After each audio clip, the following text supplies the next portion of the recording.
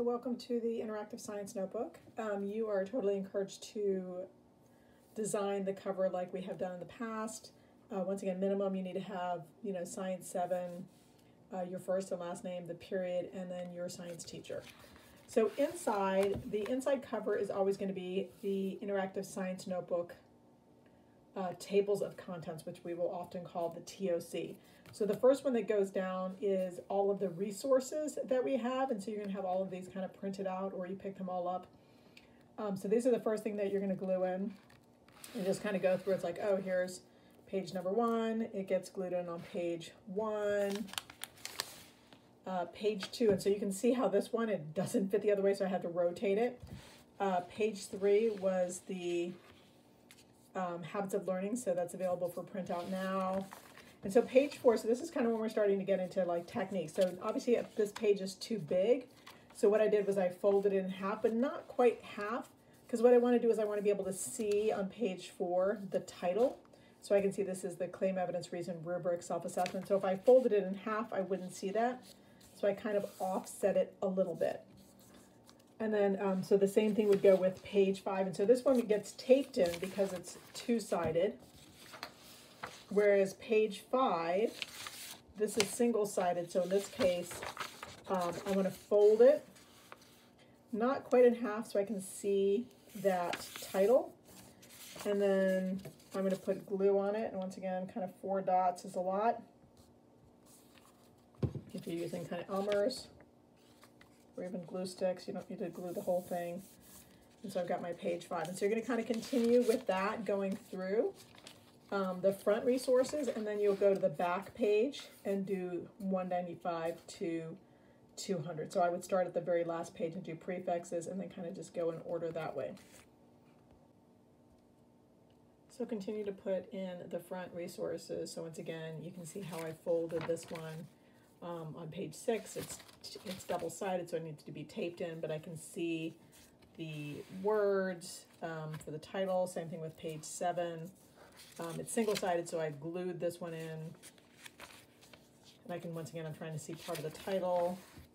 Um, page eight is double-sided. Once again, I folded it so I can see the title and it's taped so I can flip back and forward. Um, page nine, the modeling rubric, I'm kind of folding it this way. Once again, I can see part of the title. Um, page 10 is the big aha and unit expectations. And once again, folding it that way. And then you'll have your unit title page um, coming in there. So let's look at the back of the notebook. So the back of the notebook um, is page 200. So you're going to have your prefixes. You could do the folding method, but it's small enough that if you want to cut it out, it can cut out.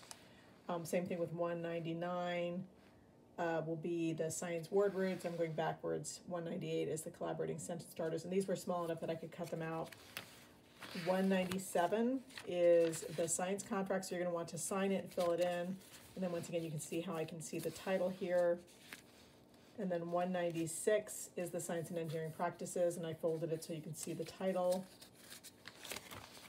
And then 195 same thing, I can see the cross-cutting concepts title.